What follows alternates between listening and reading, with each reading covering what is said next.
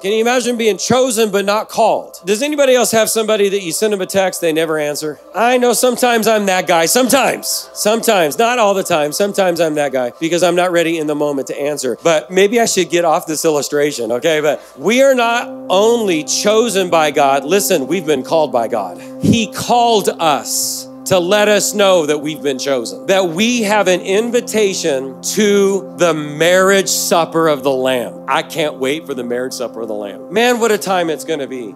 You have been chosen. You were once orphaned. Not even orphaned, you were homeless. You were a loser. You had no hope no future. Your life was busted and disgusted. You were lost. And God chose you to come into His house to be a member of His family and to set your feet under His table. And He not only chose you, come on, He called you. He let you know you were chosen. And guess how He let you know you were chosen?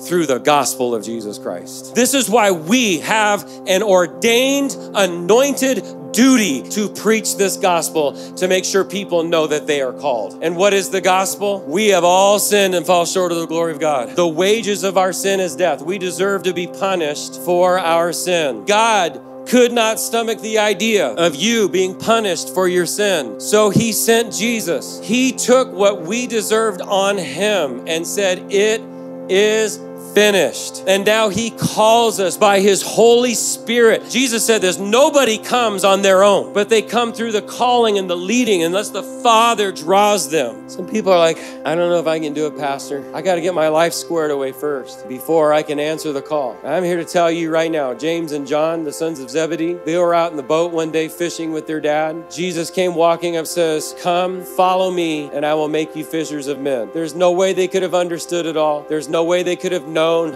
what all was going to happen, there is no way that they could have fully understood it. They just heard the call, and the Bible says immediately they got out of the boat and followed Jesus. Just answer the call. We can work out the other stuff later, and you're going to wake up one day after you answer the call, and it's that simple act of faith to say, I just, I believe, I just believe.